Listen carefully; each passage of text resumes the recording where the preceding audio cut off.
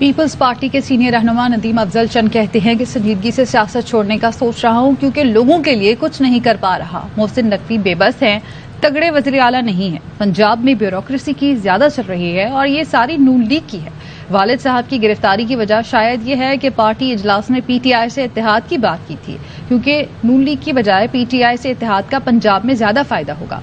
पंजाब में इस वक्त नवाज़ शरीफ मुखालिफ वोट बहुत ज़्यादा हैं। उम्मीदवार तगड़ा हुआ तो उसे एंटी नवाज़ वोट मिलेगा। इस्तेकाम पाकिस्तान पार्टी में अक्सरियत वो हैं जिनकी आवाम में बुकत नहीं। पकड़ दकड़ क्यों पहुँची? जी, लेकिन जी मैं मुख्तलिफ़ राय है।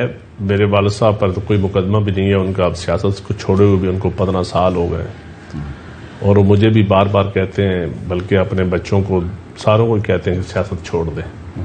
तो वो यही कहते हैं कि यह सियासत अब इज़्ज़त का ज़रिया नहीं रह गई। अब इस सियासत से आप निकले। यकीन करें मैं बड़ा सीरियसली सोच रहा हूँ कि सियासत छोड़ दूँ। क्योंकि कोई अल्टीमेटली टारगेट नज़र नहीं आ रहा आपको। डेमोक्रेसी रूल ऑफ़ लॉ या लोगों को कंट्रीब्यूट करना। एज ए पॉलिटिशियन मैं समझता हूँ कि मैं कंट्रीब्यूट नहीं कर रहा जिस तरह मुझे करना चाहिए। तो हुआ क्या था बेसिकली वो तो ब- बजाय ये लगता है कि जी मेरे भाई गुलरेज को पुलिस वाले पूछ रहे थे।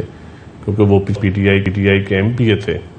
उनको पीटीआई ने टिकट भी नहीं दिया और उसके बाद वो आज़ाद इलेक्शन भी लड़ रहे हैं। पीटीआई से उनका कोई तल्लक भी नहीं रहा उसके बाद। मैंने पुलिस से भी पूछा चुप हो जाते हैं बताते भी कुछ नहीं है। मैं भी समझता हूँ कि कुछ दिन पहले मैं पार्टी की मीटिंग थी तो मैंने तो कहा था कि शायद पीटीआई का और पीपल्स पार्टी का अगर इतिहाद हो जाए तो पंजाब में हमें ज़्यादा फ़ायदा होगा। बजाय नून लीग का इतिहादी बनने के।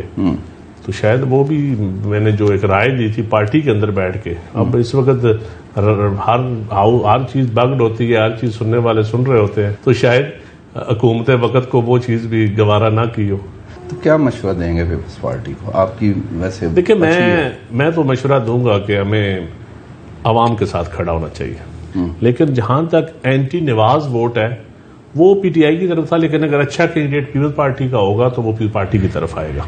जिस जगह पे अच्छा कैंडिडेट पीटीआई का होगा एंटी नवाज़ वोट एक मैक्सिमम है इस वक्त। इस्तेहकाम पार्टी आ गई है। मेजॉरिटी लोग वो हैं जो बिल्कुल अब पब्लिक की नज़र में जिनकी कोई वैल्यू नहीं है। मेरा तो तरीन साहब के साथ एहतराम का तल्लक है लेकिन इतना मुझे पता है कि जब गवर्नमेंट में मैं शहजाद अकबर के खिलाफ बोला था तो ये जितने लोग जो आज तरीन साहब के साथ हैं ये सारे उल्टा मेरे खिलाफ हो गए थे कि ये नदीम तुम क्या एक ने भी मेरा साथ नहीं दिया था।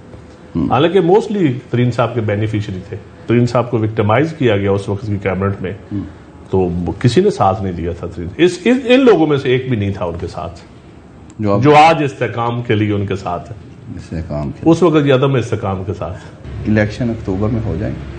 होने चाहिए इलेक्शन मुझे लगता है कि पीपल्स पार्टी की ख्वाहिश है होने चाहिए।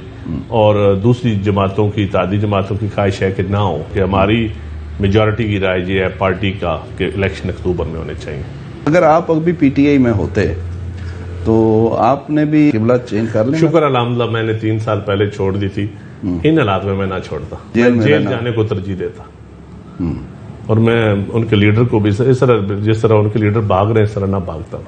परवेज लाई के साथ मैं समझता हूँ उनकी उम्र के हिसाब से उनकी बीमारियों के हिसाब से उनसे ऐसा नहीं करना चाहिए था। हाल तो मेरे सख्त मुखालफ है मेरे जो सर पे जख्म है ये चोरी परवेज लाई के दिए हुए हैं। लेकिन इसके बावजूद मैं समझता हूँ उनके साथ अदल होना चाहिए। सियासत में कुछ रवादारी रहनी चाहिए। रहनी चाहिए। लेकिन इस वक्त सियासत गंदी हो रही है। हुकूमत होती है पंजाब मेन प्लेयर है। पंजाब में ब्यूरोक्रेसी सारी नून की है। डिस्ट्रिक्ट में आप नीचे पटवारी से लेकर कमिश्नर सेक्रेटरी तक सब नून लीग के हैं। हालाँकि डीसीएसपी अपनी मर्ज़ी से ब्यूरोक्रेसी ने लगाए हैं लेकिन उनको हदायत यही है कि नून लीग के लोगों के काम करने आपने सिर्फ़। नहीं लेकिन वज़ीर अला मोहसिन नकवी तो पीपल्स पार्टी से मेरे ख्याल में मुझे मुझे लगता है मोहसन नकवी साहब कोई बेबस है कोई तकड़े वज़ीर आला नहीं है। ब्यूरोक्रेसी ने उनको उनके आगे वो ब्यूरोक्रेसी की ज़्यादा चल रही है। फेडरल गवर्नमेंट ढूंढ की है। हाँ, फेडरल गवर्नमेंट और ब्यूरोक्रेसी का नेक्सेस है